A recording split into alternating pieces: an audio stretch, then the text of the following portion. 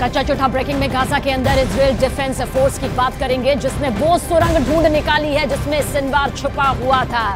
याया Sinwar के भाई Mohammad Sinwar ने ये सुरंग बनाई थी और इस सुरंग की लंबाई कुल चार किलोमीटर है और ये सुरंग इतनी चौड़ी है कि इसमें कार भी जा सकती है। सोचिए आखिर किस तरह की ये पूरी सुरंग यहाँ पर है याह सिनवार के भाई मोहम्मद सिनवार का एक वीडियो भी इसराइल ने रिलीज़ किया, जिसमें सिनवार सुरंग के अंदर कार से सफ़र करता हुआ नज़र आ रहा है। इसराइल ने हमास की सुरंग पर कब्जा तक कर लिया है।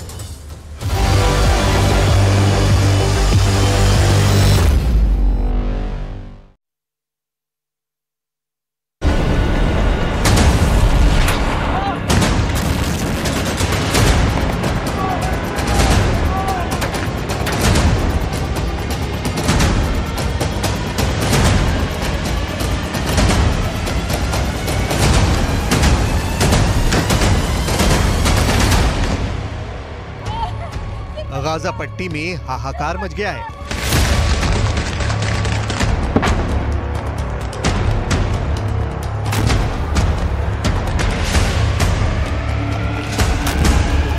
फिलिस्तीन के तमाम अखबार अब ये खबरें छाप रहे हैं कि इसराइल के सैनिक गाजा पट्टी के घरों में घुसकर लोगों पर हमला कर रहे हैं। क्या फिलिस्तीन के अखबारों का ये दावा सही है? इसकी पूरी पड़ताल आगे करेंगे।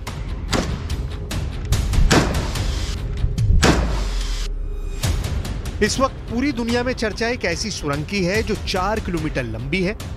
इस सुरंग के अंदर चार पहिए वाली गाड़ियाँ बहुत आराम से गुजर सकती हैं।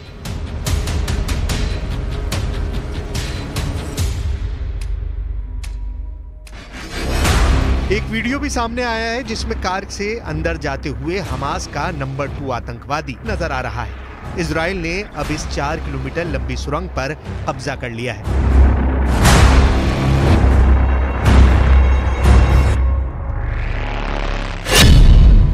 दावा किया जा रहा है कि हमास को एक बहुत बड़ा झटका है, लेकिन सुरंग के अंदर हमास के आतंकियों ने इसराइल के सैनिकों को मुकाबला करने के लिए और उनको धमाकों से उड़ाने के लिए भी पूरा इंतज़ाम किया हुआ था।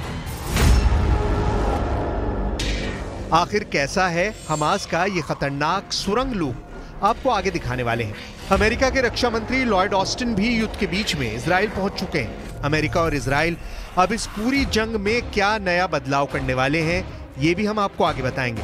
लेकिन सबसे पहले आपको दिखाएँगे वो खतरनाक सुरंग जिसके अंदर जाने की हिम्मत करना भी आसान बात नहीं है, क्योंकि सुरंग के अंदर हमास का आतंकी याहिया सिनवार भी रह चुका था।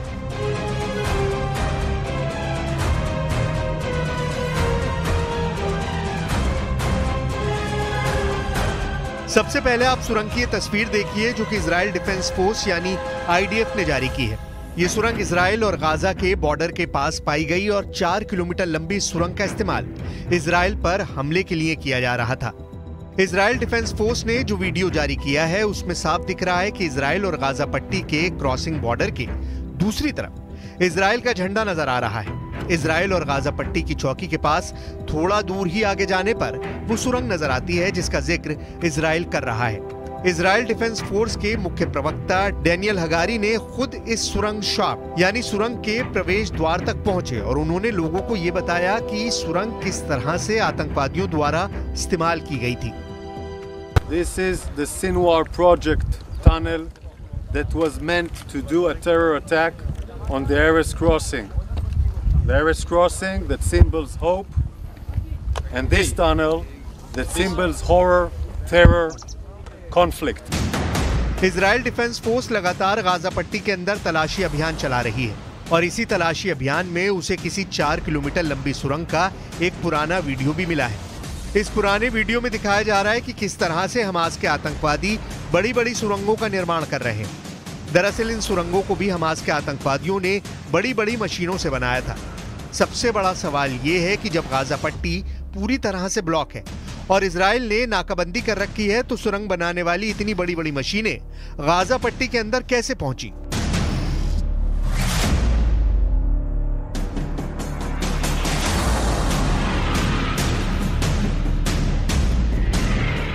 इसराइल ने इसी सुरंग का एक और वीडियो भी जारी किया है। ये वीडियो भी हमास ने ही रिकॉर्ड करवाया था।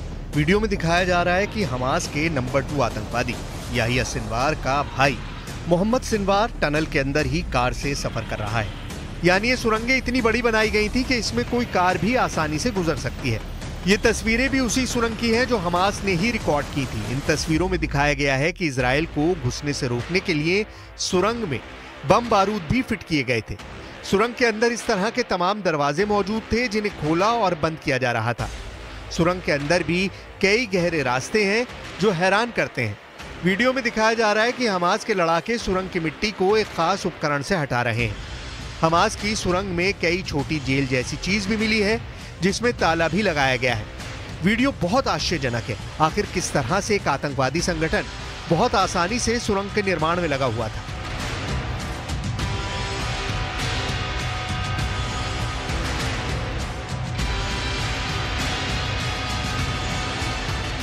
एक तरफ़ इसराइल की डिफेंस फोर्स ने हमास की सबसे लंबी सुरंग को छीनकर हमास को बड़ा झटका दिया है। दूसरी तरफ़ गाजा पट्टी के लोग आज दाने दाने के लिए दुनिया की मदद पर मोहताज हो रहे हैं। गाजा पट्टी में भुखमरी लगातार बढ़ रही है। लोग अपना पेट भरने के लिए पूरी तरह से विदेशी मदद पर निर्भर हो रहे हैं। ऐसे में करीब दो दर्जन राहत ट्रक गाजा पट्टी के अंदर प्रवेश कर चुके थे, लेकिन जैसे ही ये ट्रक गाजा पट्टी में घुसे गाजा पट्टी के लोगों ने इस ट्रक के पीछे लटक कर खाद्य सामग्री हासिल करने की कोशिश की, जिसकी वजह से खाद्य सामग्री सड़क पर बिखर गई और गाजा पट्टी में लूट मच गई। ये तस्वीर बताती है कि इस वक्त गाजा पट्टी की हालत कितनी खराब हो चुकी है और भूख इस वक्त एक महामारी का रूप ले चुकी है।